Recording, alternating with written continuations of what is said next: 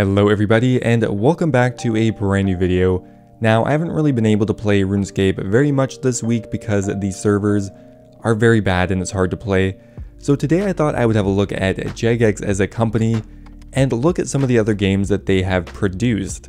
It's pretty easy to forget that Jagex is actually a game development company and theoretically they should be producing uh, many different games throughout different genres but that is just not the case. They have had no success on any other game except for RuneScape and old school RuneScape, but they have been trying. They have produced many different games. So today I thought I would have a look at them and try to answer the question of why Jagex has no success developing any other games and if they will ever have any in the future. Anyway guys, I hope you enjoyed the video and let's get started. Now I want to start off by looking at the Jagex games that got the furthest into development because I think they'll have the most to show us about uh, Jagex as a company. Now, what does any game company do that has one flagship popular game?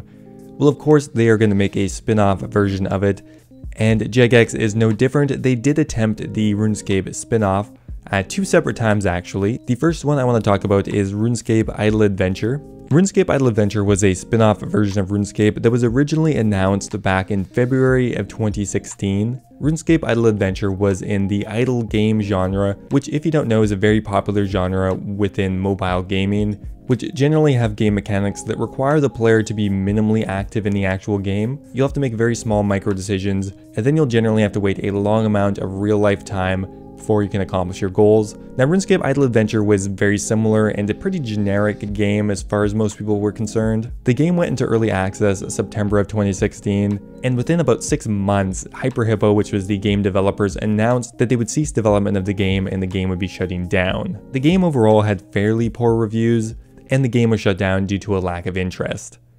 Now, the other RuneScape related game was a game called Chronicle RuneScape Legends, and it was a turn-based strategy card game, very similar to a game like Hearthstone. And unlike RuneScape Idle Adventure, this game actually did get a full release. There was a beta that was released in November of 2015, but then subsequently it had an official release on Steam on the 26th of May 2016. Now, this game was actually fairly well reviewed. A lot of people actually liked Chronicle RuneScape Legends. However, once again, it suffered from extremely low player counts. Using the Wayback Machine, we can see that the peak player count for this game on Steam was 2.8 thousand, which is very, very low.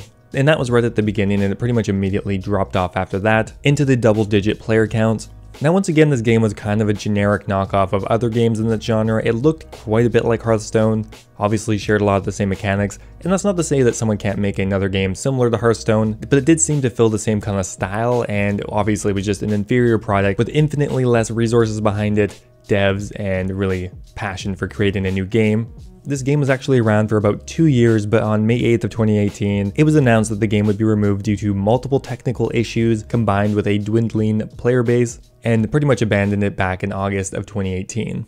Now, beyond RuneScape itself, the longest standing game that Jagex has ever developed and hosted is actually a gaming website called FunOrb, now, a lot of people in the RuneScape community know about FunOrb, although it wasn't particularly popular. FunOrb was a casual gaming site with a bunch of different games that were all developed in Java. It was originally launched back in 2008 and actually had some games that were beloved by a lot of people. Although none of these games were particularly popular as far as AAA games go, some of the more popular games on FunOrb were Arcanist, Army of Gielinors, and Void Hunters. FunOrb kind of reminded me of Miniclips almost. They were meant to be for fun with no meaningful progression or anything like that. And surprisingly, FunOrb actually lasted for 10 years, which is outlasting pretty much any other game beyond RuneScape. However, on May 9th of 2018, Jagex announced that FunOrb would actually be closing, stating that advancements in software and hardware have made it increasingly difficult to access and play the game. Uh, interestingly enough, FunOrb was actually not really compatible with any of the new browsers, so pretty much workarounds had to be made to actually access the games. But that really just goes to show that people actually cared about these games because they found ways to circumvent the software limitations to play it anyway. Now the active player base when this was shut down was probably very, very low because there hadn't been any meaningful updates in years, and they certainly weren't making a lot of money from FunOrb. While there was a paid version of the game and advertisements, it would clearly never be a cash cow like any of the other potential games they were developing, which is too bad because these games were actually quite a lot of fun. Now, one game that not a lot of players ended up playing was one called Eight Realms. It was a browser-based real-time strategy game developed by Jagex. And I gotta say, even for the time, which was about 10 years ago, this game looked pretty dated. It was a browser-based game which long had gone out of fashion, and was kind of just a weak attempt to get into another gaming genre.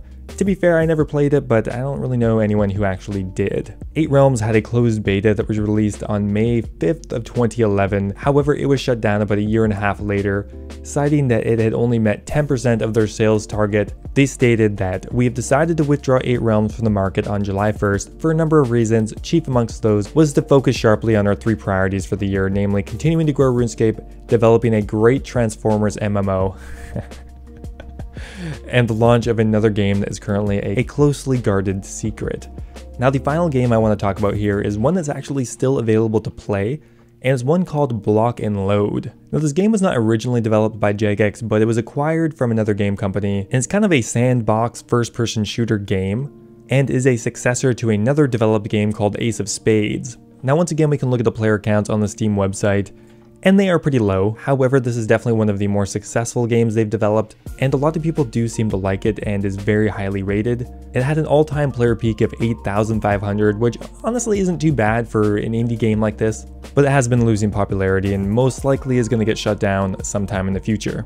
Now those are some games that Jagex has developed, others they have been part of publishing, and yet there's been other games that have been cancelled altogether. We have games like Transformers Universe which never made it to beta, uh, Stellar Dawn, which never made it to beta, and there are even smaller, random indie games that Jagex has had a part of publishing. And that kind of brings me back to my original question, and that is why has Jagex failed at developing pretty much any other game beyond RuneScape? And I think we can use these old examples to maybe prove why. I think one of the chief reasons here is that most of their games are either pretty much direct copies of other games on the market, or just very niche indie games. Jagex started as an indie game developer, I guess you could call them, but they grew into a massive company. But for some reason, they still have the mindset of an indie developer. Like, even for the time, a lot of these games are fairly out of date graphic wise, gameplay wise. They're just old ideas attempting to be repurposed. Another really big reason is that all of the developers at Jagex, the ones working on RuneScape at least,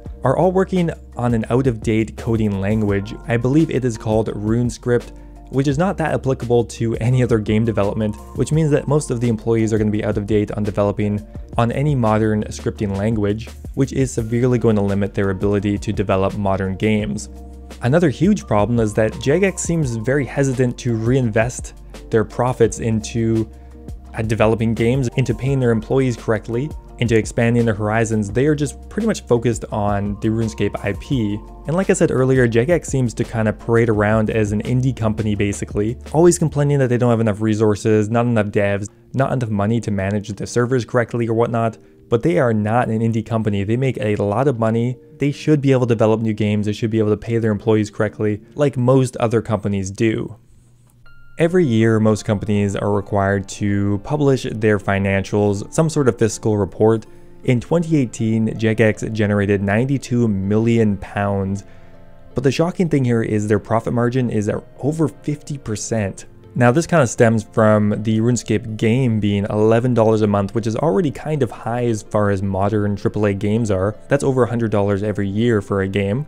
But on top of that, the development costs can be very low. For a game like old school RuneScape, which is using a very out of date graphic style, developing new content is probably dirt cheap compared to how much new games need to invest to stay up to date with the new graphical advancements and technological advancements. Now the final thing I wanted to mention is that Jagex as a company has been bought and sold a few times. Right now it's owned by a Chinese investment company, which had to later change its name to Offload Debt. Right now as far as I'm aware it's called Fukong Interactive Entertainment. And unfortunately, a company like that is most likely just interested in maximizing their profit with the least amount of investment possible, which means that Jagex is not very likely to invest a large amount of resources, a large amount of money into developing a new game. Hell, they're not even investing enough money into their mainstay game, RuneScape and old school RuneScape, so it's very unlikely they will develop a modern game, a new successful game, or potentially even any game in the future. Anyway guys, that is going to be it for today's video. Let me know what you think. I really did have fun researching a lot of these old Jagex games, and honestly, some of them were fun. I'm not saying that Jagex as a company is a terrible game developer, they just have maybe a few more issues than average. Anyway, thanks for watching guys, and I will see you next time.